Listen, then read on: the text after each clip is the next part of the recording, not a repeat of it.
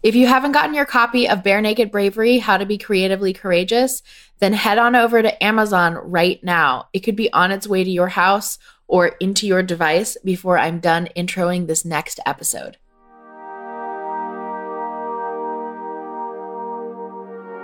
I am really excited about today's featured conversation. Not only does it mark a pretty significant milestone for this little podcast, but it also is so refreshing to hear. At least it was a conversation I personally needed to participate in. But real quick though, before we keep going, registration is open for the upcoming free masterclass I'm teaching titled How to Find Your Confidence Without Bullshitting Yourself. like I said, the class is free, it's hosted online, and there will be a replay available for those of you who aren't in my time zone. I'm teaching the class because a lot of times I think people hear the words like find your confidence and it kind of implies this sense of like lying to yourself that you're just like you know, talking through your teeth about how confident you are about yourself or about what you're doing. Um, and that's not the idea. That's not what bravery is. Bravery is not lying to yourself. so if you're interested in this and knowing more about it, then go register yourself for the class by visiting emilyannpeterson.com forward slash workshops. And everyone who registers for the class will get the class replay links and some corresponding worksheets that go along with the class too. Again, emilyannpeterson.com forward slash workshops, and I will look forward to seeing you in class. Okay. So, at the time of recording this episode, about 18 months had passed since we spoke to our first ever podcast guest. Both she and I have learned big, huge lessons about what it means to be brave as a musician and a performing songwriter. So, in celebration of the book Bare Naked Bravery being published earlier this year, I wanted to touch back to the beginnings of the show and catch up with Naomi Wachira. I'm so excited about this. If you haven't heard her story or that first episode, I encourage you to do so. However, today's conversation won't lose you because we're talking about the courage of choosing silence, which applies to anyone, anywhere especially on the heels of a busy season of hustling, we need that rest and rejuvenation. Naomi and I spend today's conversation swimming through the waters of this silence. It's quite an appropriate conversation. We don't do it silently though. but it is quite an appropriate conversation for me to have personally because while she's ramping down a busy season as a performing songwriter, I'm ramping up my season of speaking up and showing up as an author and a songwriter. And personally, I needed this reminder from her to intentionally build in the rest, build in the silence, and the deep nourishment that your soul needs to do its real work in the world. Naomi needed this too, so it's perfect timing, as always. As with each of the guests on this show, Naomi is someone who inspires bravery in me personally. She was one of the first names I wrote down while brainstorming who I'd reach out to to research this book the book that is now published with the same name as this podcast, Bare Naked Bravery How to Be Creatively Courageous. Side note, if you haven't purchased it yet, go do it. Go do it. All of the formats, including audiobook, are available on Amazon right now. And if you have already read it, what did you think? Truly honest Amazon reviews would be really, really wonderful next steps for you. Amazon reviews, just like iTunes reviews, are how people will find this book and this podcast. And I know there are myriads of people out there who need to, one, listen to what Naomi and I talk about today, and two, who also need to hear the stories and the bravery building, the bravery building knowledge that is held within these pages of the book. So, Amazon reviews are super awesome and the answer to all that, at least for today. So, today's conversation is a perfect example of the nakedness required for big, bold actions, and sometimes being still, pausing your movement, or just listening on a deeper level takes more bravery than keeping the hustle going. So, I'd like you to take a deep breath and make space for a new level of listening. I give you Naomi Wachira.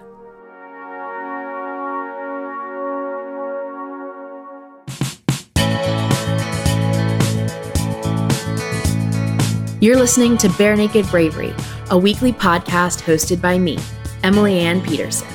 As a singer songwriter, author, teaching artist, and creative entrepreneur, I encounter some really fascinating stories.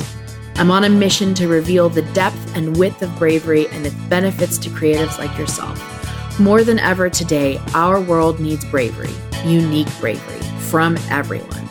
This is the place where you find it. There is no script or censorship today because that's how these facets of bare naked bravery are in real life.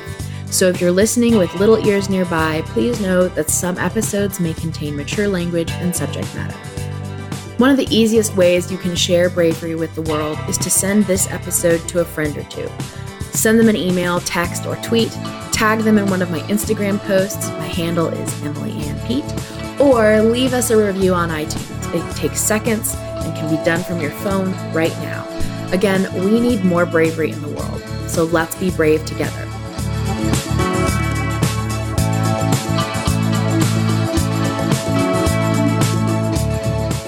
Naomi. Okay, so you're here. We were we were talking before we started recording.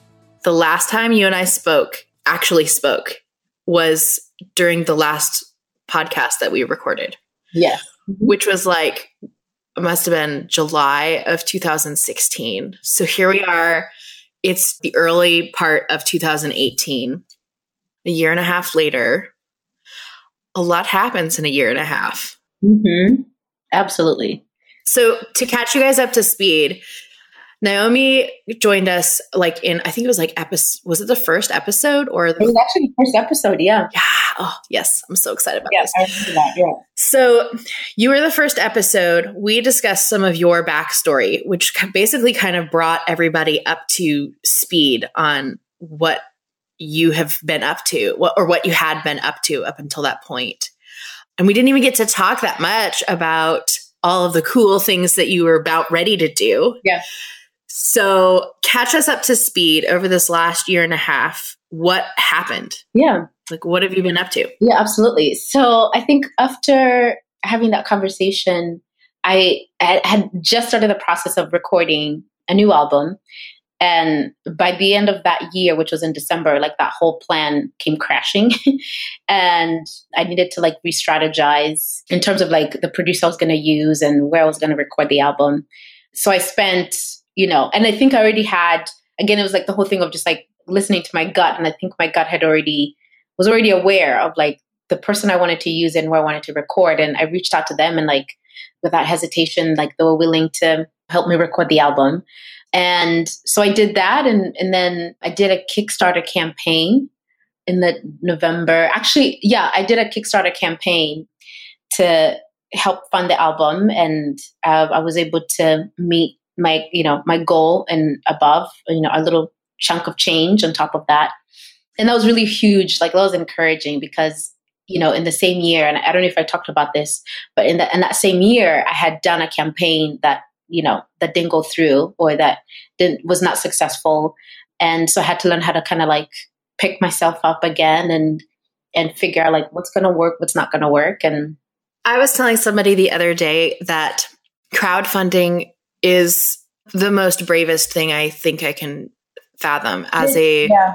sm- as a small business owner because you are regardless of whatever product or whatever project you're trying to fund the question to the world is do you value my idea? Yeah oh absolutely. And that in itself like i remember like that whole month of november i did it from november 1st to december 1st it was just like so ridiculously stressful because a part of it is like i'd already done this before and it didn't work out and i was like oh my god like i can't go through another another fail and if you've done crowdfunding like you know sometimes it takes a while at least for me it takes a while for it to like really sink in and people don't start pledging until like you know you have like four or five days left well from what i understand and experience wise from my own experience with this like there's a surge right at the beginning and then yeah. like mm-hmm.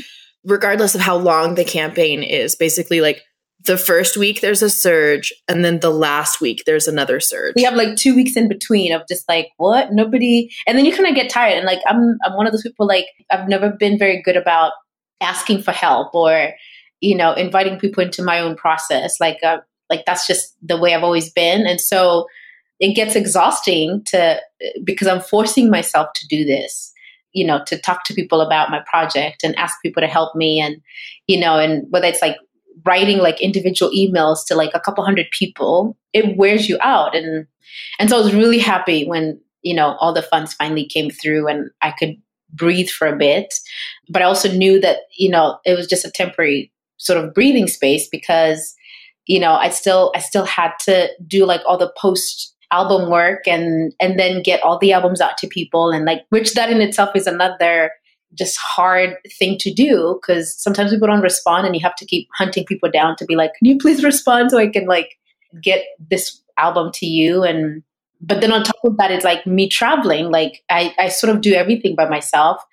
And so it's like i i sort of had to do like you know the post fulfilling part in chunks because you know, I was traveling, I was going on tour and and that kind of weighs on you. At least for me, it was weighing on me to that I had all this stuff that I still needed to to send out to people and fulfill like my promise. Yeah. And then, you know, did the album release and very, very successful. And and then my daughter and I started traveling. You know, we started out with just doing like domestic tours, like in Washington and Oregon and California, and then did East Coast. I think we did uh, her and I probably did about 12 or 13 states. And just like me booking, you know, all the venues and, but also being very mindful of the fact that I'm not just traveling by myself. Like I'm traveling with my seven year old daughter. And so, like, how do I make this worth her while also? You know, and so we did some fun stuff also, like went to Disneyland, you know, surprised with a trip like Disneyland. Did a lot of historical, because I homeschool also. So I, we try to do as many historical sites as we could as you know part of her learning experience. And and then we did a month long in Europe and I played in like four different four or five different countries there.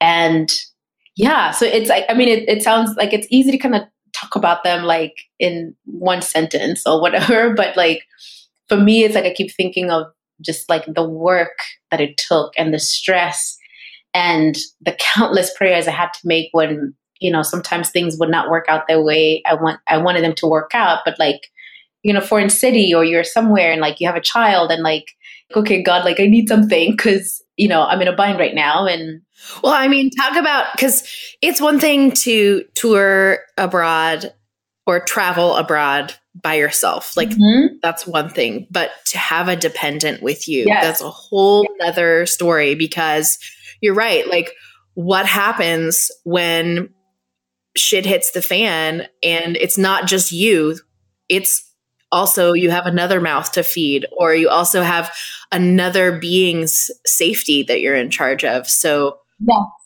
Like I remember uh, one of the crazy stories was we're in Italy in Pescara and we like decided it was I had a friend who had come with us for like the 10 days that we were going to be in Italy and she was just going to travel with us and help me out with with my daughter and that night, we decided to go grab something to eat. And I came back and the car was gone.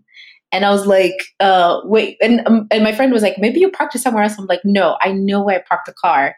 Anyway, long story short is the car had been towed. I had no idea.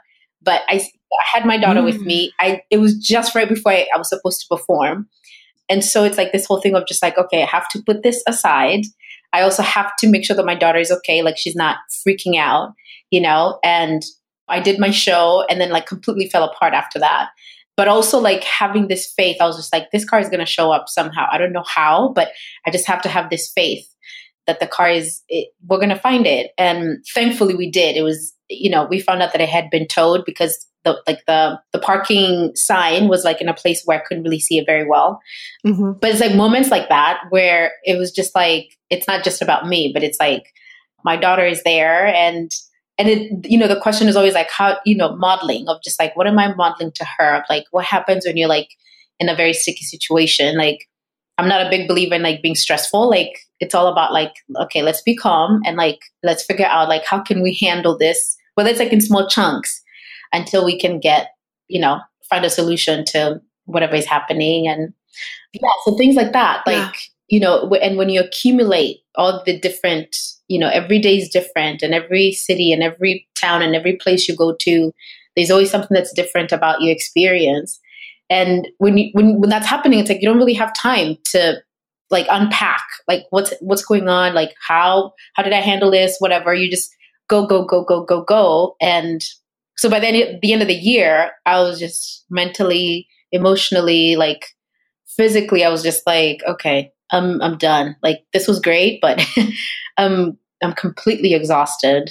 I'm curious about this because when you have put everything into go go go go go and then you get to that point of realizing that you don't have anything like you're exhausted yeah. you don't have anything else to give there's for me like when i've been in those situations it's i've had to encounter like facing my own internal sense of failure yeah oh yeah mm-hmm. how did that pan out for you when i returned and and i remember i think that was like the first there was like a sense of discouragement of just like I was like, oh my, I, I can't give anything. I can't, I can't, there's nothing else that's left for me to give to anybody. And in a weird way, like I don't even know why, but it's like in a weird way, I felt like, oh my God, like I'm letting myself down by just having this thought of like, I can't give anything to anyone. Because I think for me, like what I do, my calling is like very much tied to giving to other people. And like the music that I create is about giving something to somebody else. And so when I'm unable to do that, it just feels like, well, I've just failed at the one thing that I'm really good at. And and so I really struggled. Like it took me, and I, I think that's why, like off record, like I said, that it took me a while to to finally get to the place of saying, I actually need to rest. It's actually a good thing for me to just stop and just be okay with like this is a necessary part of the journey. Like you don't have to constantly just be giving, giving, giving. But yeah, but it took me like almost a whole month of just wrestling with actually not two months because we, we got back from Europe in, in, in November and just November and December, like I was just going just back and forth and I was beating myself up and just this feeling of like maybe I hadn't done enough and like these, you know, I should still I need to do more. Yeah. Why do you think the rest is a necessary part of movement? Because I think as a creator, I feel like you have to be able to get to this this place where you've replenished yourself enough. And I find, at least for me, what I've learned is like when I perform, it's like I'm giving, and I might be able to get something in return from the audience, but it's it's not very often because it's like there's a very short amount of time between you know when you do a concert, you're done, you sign CDs, and even like those conversations, they might be great, but they're not they're not the kinds that feed you because like you're still like in performance mode. It's like as a person, I'm not really absorbing what's you know what's actually happening.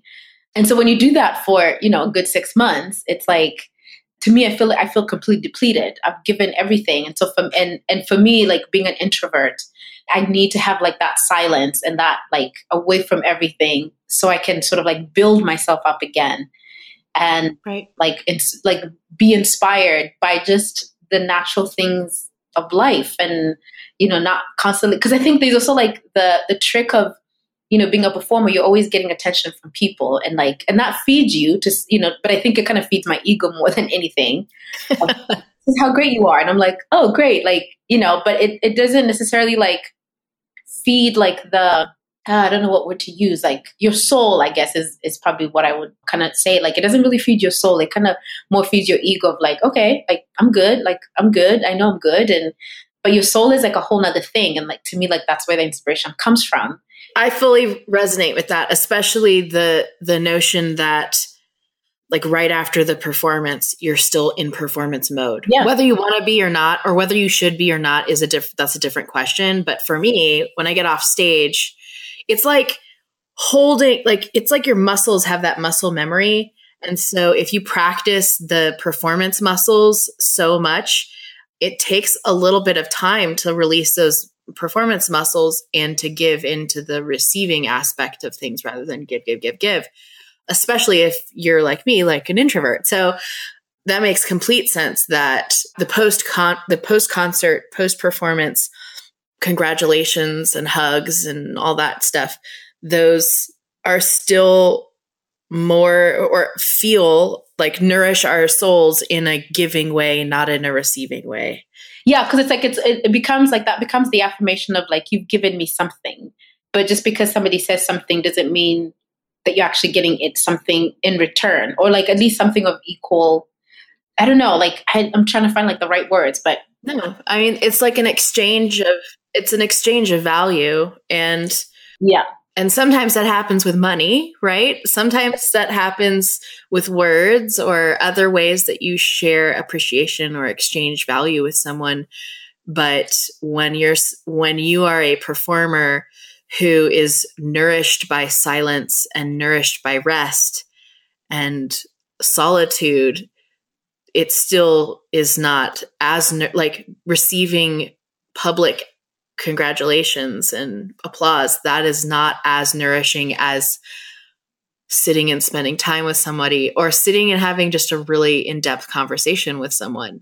Yep, absolutely. Yep. And yeah, uh, you're totally right on that because I think it's like those conversations, you know, after the performance, they they're not necessarily very deep because like you don't really have the time to go very deep and and it's not until like you're able to sit with a with a person like and actually like sort of like to me it's like conversations is like peeling an onion. It's like a layer after layer after layer. And you know you don't get that after performances. Like it's it's very i have two seconds or i have two minutes and i want to share something with you. And i'm like oh this is wonderful. But like but it's also still missing something. Like i'm honored like to to be part of like somebody else's process that way. Right. But i think it's also very essential for me to find a way to like fill myself back up again and like and replenish you know what i've been away. And and i find and so, yeah so that that's why like the need for silence is really really essential. This is somewhat off the wall but it's popped up on my news feed the other day on facebook. Some one of these uh, make a wish kids was wishing to see Katy Perry. And she was just like all about it this little kid. Uh, and i i love Katy Perry. I think she's so fun doing really fun work. And but watching her watching Katy Perry visit and spend time with this child who like all she wanted to do like her you know last wish on earth was to see Katy Perry. I mean what a responsibility yeah. as an artist. And secondly yeah, that kid wanted to just meet Katy Perry, but that was a moment where Katy Perry was giving everything to that child. And I could see, like, she's a pro. Katy is. She's a pro. She knows exactly what she was doing. And, but the whole thing was a performance and not in a bad way, not in a fake way necessarily. It was just very clear to me that, you know, she was fully made up. Like, she was the stage version of Katy Perry, not the I'm wearing sweats and I'm sitting at home with Nugget the dog. You know, like so I, I think that's just totally, totally legit. And and I think it's it's a really timely conversation because though you are in a rest period, I am coming out of a creation, a, re- a rest and a creation yeah. period, and I'm going to be doing the out there stuff. So this is such a good reminder for me to build that rest into the touring process and into the exposure and the visibility. Yeah, I'm curious like what does that like what does that look like for you coming out coming out of the rest into the go mode? Like what like how does that what does that look like for you? Well, it looks like for me doing more concerts than sitting at home and writing yeah. a book. um, I have to some degree cabin fever. Like I'm I feel like I've done enough creating. It's now it's time to like share. And I think that's a healthy just like you came back from tour and was like, "Oh, I need to rest." That choice feels good. After I resolve the choice within myself, the choice feels really good and nourishing. Well, on the other side of things, like you can rest and rest and rest or create and create and create and never release it all. And it feels just as stuck and just as toxic on honestly. Like if you had kept go go go go going that would have been just as toxic as me sitting at home just writing and creating and writing and creating and writing and creating without ever letting it out into the world. And so i feel like it's just the physical version of that process. Like yes i push publish on line or you for a podcast episode or for a song out to patrons or for a book out on Amazon, but there's also a physical act of publishing or being public about what you have to give. And I think that's just the natural next step. It's like the ins and the outs of taking a breath. You have to like drop your stomach muscles and make space for the air. Mm, yep. And then when you've run when you've when the oxygen has done its job, then you contract your muscles to push it out and then repeat the process again. So I would love to for me, I would love to create a sustainable pattern of that in and out in and out like yeah because that sustainability is so important to me and i think it's a somewhat of an experiment for everyone too because yeah mm-hmm. i know because i think like, this is the, the first time i'm like intentionally like creating an intention of rest and silence and you know kind of going within. So like there's a part of me that's like i'm still figuring things out as i go. Like some days i'm like what am i doing again? You know and and to have to kind of keep reminding myself like this is this is the plan. This is what we're kind of thinking of. And every day it's like something comes up and i'm like oh that would be interesting if i could do this or if i could do that. But that's not like music related or performing related. Um, and that's oh that's and that's another interesting thing. It's like you know because i've had a few people like reach out and they're like hey we'd love for you to come and perform. And and even like I remember like the first time the first person reached out to me and I was like, yeah, I'm sorry, I can't do it because you know I'm, I'm taking a bit of a hiatus. And like there's a part of me that kind of felt guilty for for saying that. Like that that I'm taking a hiatus and why do you think that was? I mean, I think part of it's just like my nature. Like I'm I'm just one of those people who like I say yes to almost everything and so I think it, it was part of like part of it is just that like me saying no I felt like uh, maybe I should cater to them and like what they want and what they need. And but it's become a lot easier now. Like I think I've worked with the whole idea um, enough for it to like, to, you know, it's like sunk into my my being now that this is what we're doing and that we're completely okay with this. And I don't need to apologize to or feel even feel bad that I'm not going to sing or I don't know do interviews or things like that and that feels liberating in and of itself. Well, thank thank you for breaking out of the hiatus for this.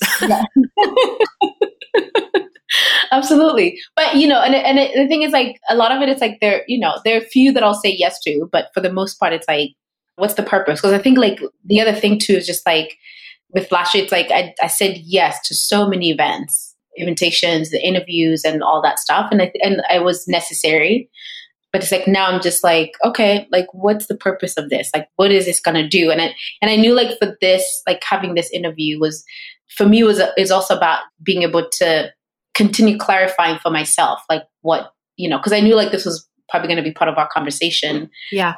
So this was a way for me to like continue solidifying this idea and well let's talk a little let's talk a little more about this because because before we started recording you were mentioning discovering this quote that kind of put all this in perspective.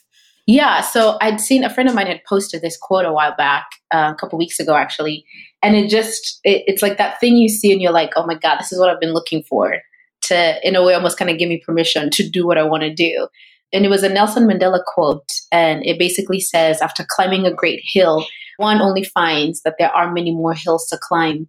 And for me, it felt like whether it's just last year or like the last five years of my music career has been constantly trying to to climb all these hills to find my own success and to find my own place as an artist and all those things as a mother and and after I read that quote, it was just like that sense of like, oh, okay, I can I'm sitting on this one right now, the one that I just finished climbing, and I'm looking out and thinking there's so many other hills I really want to climb. So what if I just decide to sit on this one for a bit and just kind of, you know, sit in silence and be inspired from within and then strategically try and figure out how do I climb to the next hills. But for me, the key word, like the key thought being, how do I smartly get to the to the other hills? Because I feel like I've done kind of a little bit of everything, and some things have worked really well, some things haven't. And so it's like, okay, now how do I get? How do I kind of like move on to the next thing, but from a smart place, not not so much like breaking my back and spending like 14, 15 working a day. And oh man. We'll get back to the bravery at hand in a second.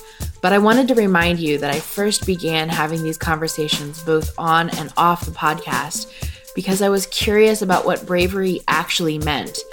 If we could build it, if so, with what ingredients. And I was so curious, I turned my research and personal stories of experiences with feats of bravery into a book. That book is called Barenaked Bravery How to Be Creatively Courageous, and it's now available in multiple formats on Amazon right now. So go get yourself a copy of Barenaked Bravery How to Be Creatively Courageous, and after you read it, let me know what you think.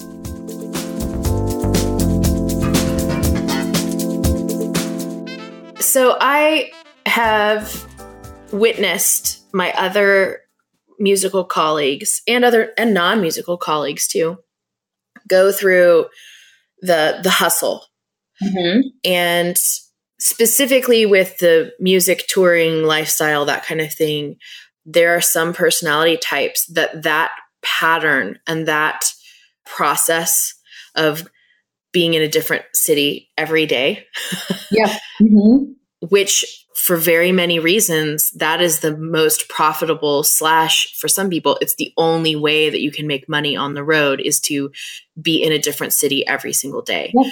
And for me and my personality type, I know I have seen like I've, because I've witnessed, I've been on tour with some friends who were on that like where we do, you know, 12 cities in 14 days kind of tour. And I get home from the tour, I didn't even play. It wasn't even my, you know, my gig. I was the merch girl, mm-hmm. just helping out along for the ride, just to see the sights, you know, yeah. just as kind of like a, a half vacay, you know? Yeah, totally. Which is so fun. But at the same time, I would come home. I came home from a couple of those thinking that that's not my speed. Yeah. Like that's like that is not my speed. And what I know about the music industry and what I know about this is that that speed is a, the most profitable speed. Yeah. So I know you, you asked like what does this next season look look like actually look like for me it actually looks like doing a slower version of this tour stuff. Mm. I mean, right now because I make I make my income I am so I am I'm self-employed full full time. Yeah. It's all just me, right? Mm-hmm. But I am not solely making money off of just my music and just my performance alone. I'm making money off of helping people with their creative businesses and helping my friends learn how to put together a website that look that actually makes the money, you know, or helping my tech startup friends learn how to communicate in the best way possible. So I'm have my like paws in multiple pies, basically. Yeah. Mm-hmm. And I did that on purpose because I knew that, you know, by having my paws in multiple pies, I'm now able to say, yeah, great, let's do a national tour and take six months to do it. Yeah, exactly. You know, and like take breaks or spend a week in Santa Fe in between hustle, you know, just writing blog posts for clients or writing articles or you know cons- doing consultations and that kind of thing. So i came like before you and i spoke i think i made that kind of connection around probably 2014 2015 it was like post diagnosis for my hand. So i already knew that my life was going to look different. And I also knew that I had a physical limitation that if I was stressed my tremor gets bad. Mm. And knowing what I know about myself, if I were to go tour at the speed of the industry standards, that my hand would make it impossible for me to play and perform. Yeah. And you just like burn out real quick and you'd be done with your whole career in like within a year or something. Totally, because I'd get a name for being the the chick that doesn't know how to play guitar but still gets up on stage anyways. Yeah, yeah. you know, because when I, I'm not kidding, when my tremor gets bad, it is impossible for me to, like, I have to get fully silent and like meditate. And you can't tell an audience, hold on for just 15 minutes while yeah. I go sit in a silent room by myself. Like, that just doesn't fly. so I just could see, I can, could see the signs and was like, I can't, I want to tour, I want to perform, I want to be a musician, but I want to do this in a sustainable way so that I can keep giving because I want to keep giving. I want to do this as long Absolutely. as I possibly can. Mm-hmm. I don't want to be a flash in the pan. I don't want to, I want this to be a long, thriving career. And sometimes that means you have to do things differently. Well, absolutely. And that, that that's exactly what I, I had the same idea too of just like, I'm in this for the, the long game. Like not, I'm, you know, not interested in like being sort of like, you're here for like two years, then people forget who you are. Like, I want my music to be around 50 years from now. And yes, and that means like you, you kind of, you know, strategize your own plan and, and then keep, keep adjusting it as, you know, as life happens and things happen and it becomes necessary to adjust those plans that still fit, you know, what your vision is. And right. Yeah. And to me, I think it's really powerful when you're able to, to like do that. Like you don't have somebody sort of in the back barking at you and, you know, yeah demanding that you oh no you have to keep doing this well and it's for that reason that i really feel for the artists who have surrounded themselves with people who are encouraging them to do probably wise things just in general like general wise advice but poor advice for them personally yeah mm-hmm. because you're right like all it takes is like one really convincing manager or one really convincing publicist for you to make decisions about your own career that aren't going to pan out. Oh, absolutely. Yeah. And that, and I, have like learned that lesson the really hard way. And, mm-hmm. and I think my take from it was, you know, again, it's like I'm a very intuitive person. And for this one particular situation, like I didn't listen to what my gut was telling me. And and it was you know and i realized later i'm just like oh see your gut knew this whole time. Like this was not going to end well. And it was not and it was not even going to be in your in your best interest at the end of the day. Mm-hmm.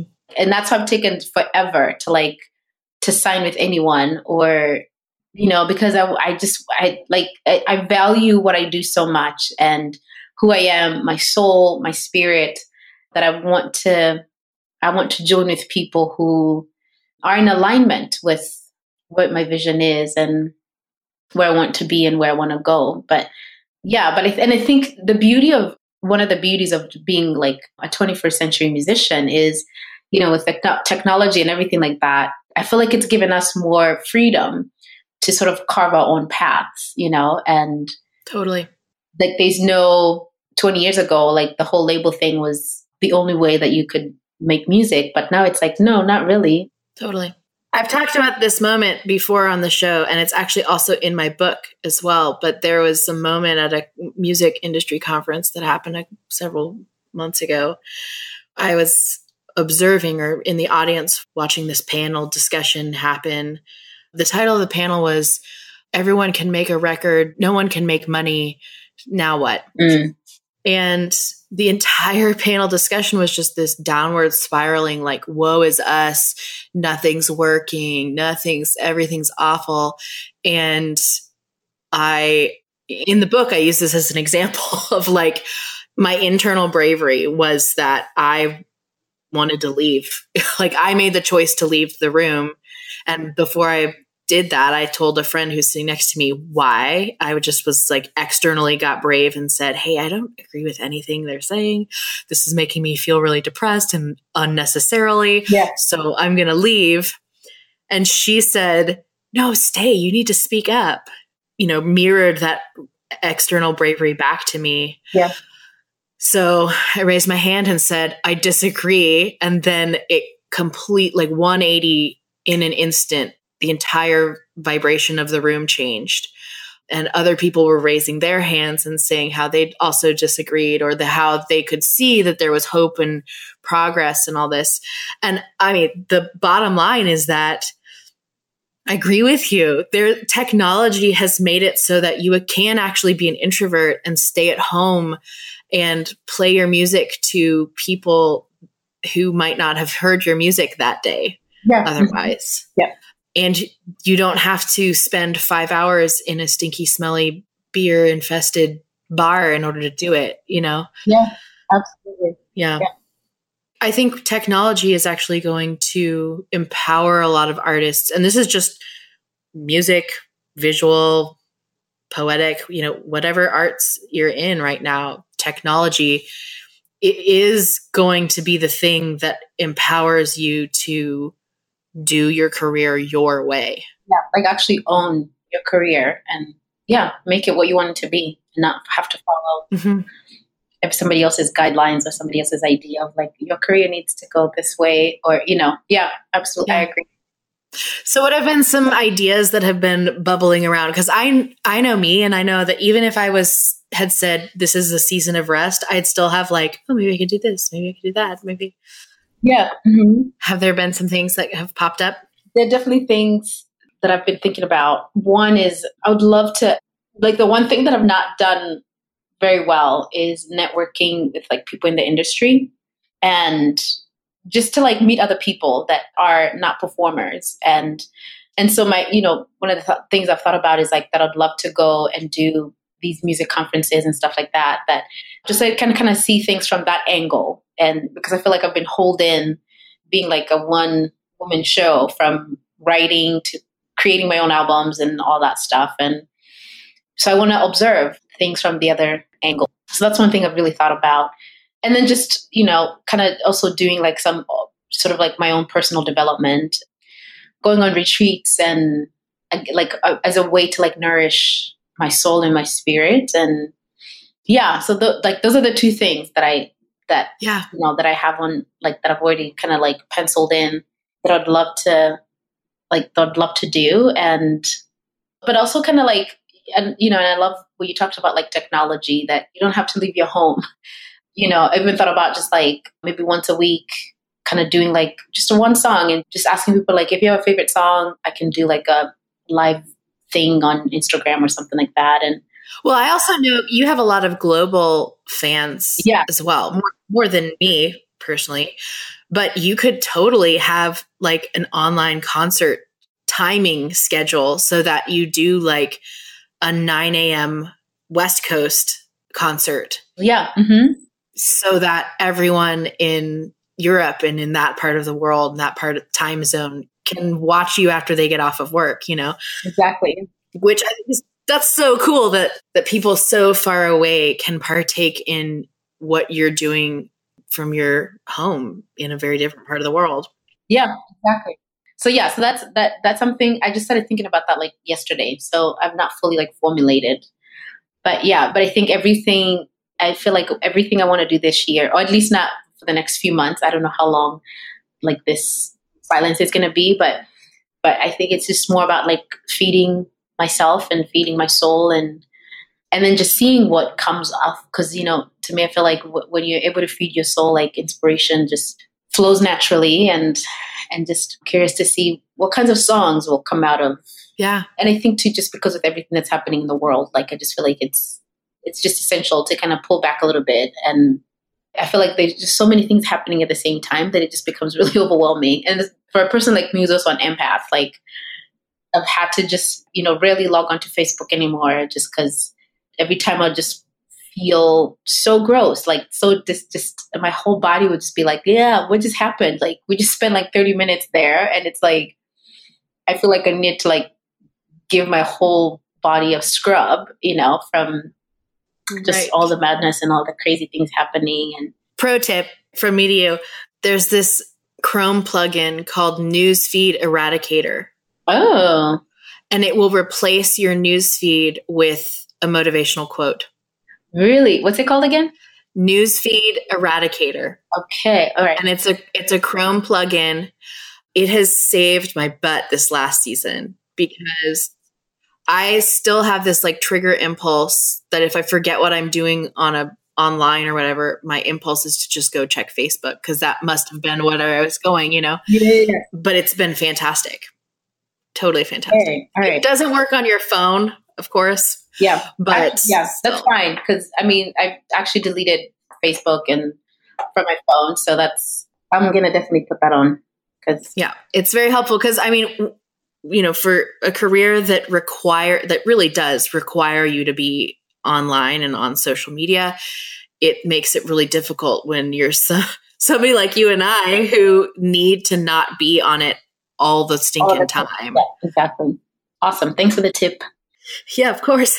it's on the house. okay, well, so to wrap things up, I mean, this has just, first of all, been fantastic. But I want to ask you specifically, you know, so when I reached out to you, first of all, what, a year and a half ago when we first started the podcast, mm-hmm. you and a couple other people were on the top of my list of like personal people I knew who I were, who were just heroes of mine. And from that list, there has been this resonant ripple effect of people introducing other people to me and other brave people to those brave people. And so and then this community has built and through the process of doing all this research about bravery the book has finished and the book is out now. And it's been so neat to yeah and it's been so neat to witness that whole process. Obviously i was an active part of making it happen but it was i was also witnessing it unfold as well. Yeah. And mm-hmm. I'm curious since we've talked a year and a half ago what have you learned about bravery oh that's a really good question because I've learned a, I've learned a ton. yeah, I know. I'm thinking like there's quite a few things I've learned actually. Yeah. But I think for me the one I mean I feel like this definitely applies with where I am in in life right now. I think there's a lot of bravery in stopping what you're really good at to get better direction of where you need to go. Because I think it takes a lot of courage to just say, you know, I'm good at this, and I, and I know that it it it has had a great impact on a lot of people, but I'm going to stop and believe that that it's going to continue in one way or the other. I just don't know exactly how it's going to continue.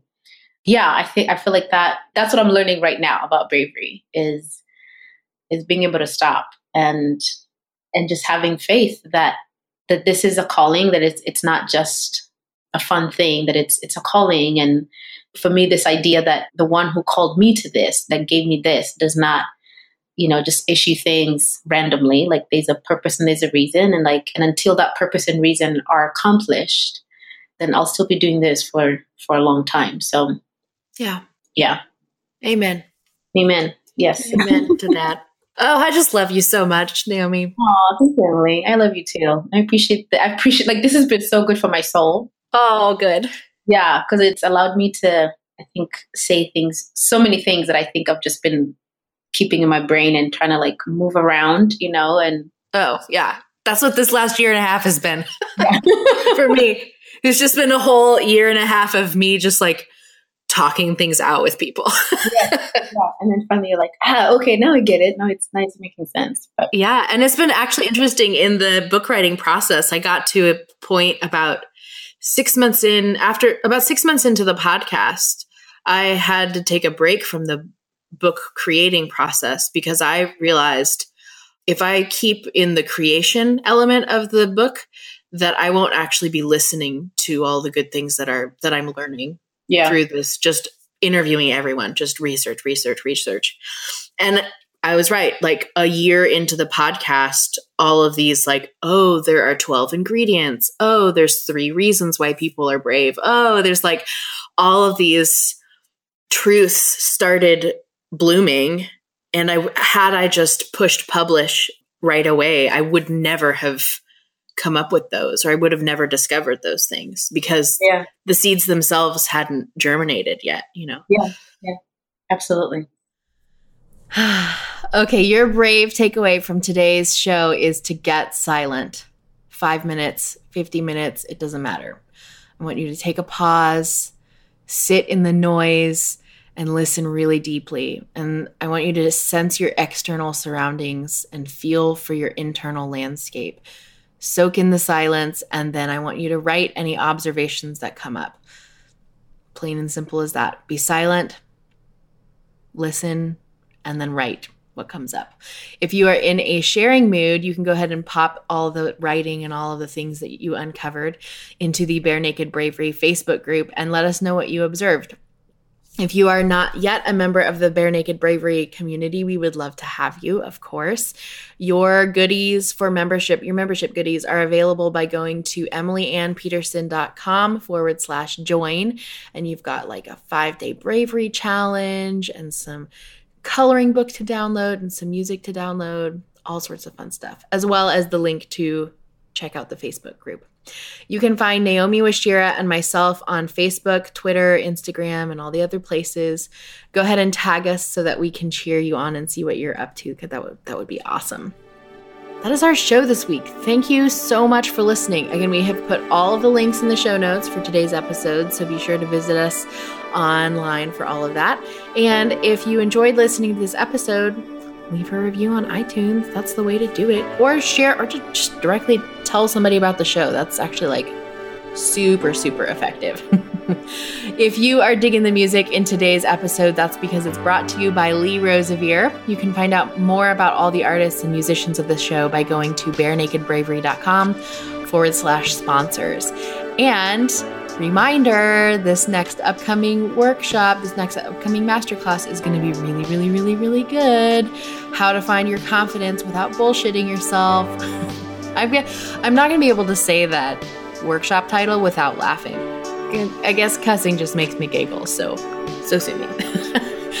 um, we would love to have you in that workshop. So go to emilyannpeterson.com forward slash workshops, or you can check out my Instagram, and I'm pretty sure that a link to go register for that class will be on my bio. So, um, next week. We have so many good things for you in store. I'm so excited.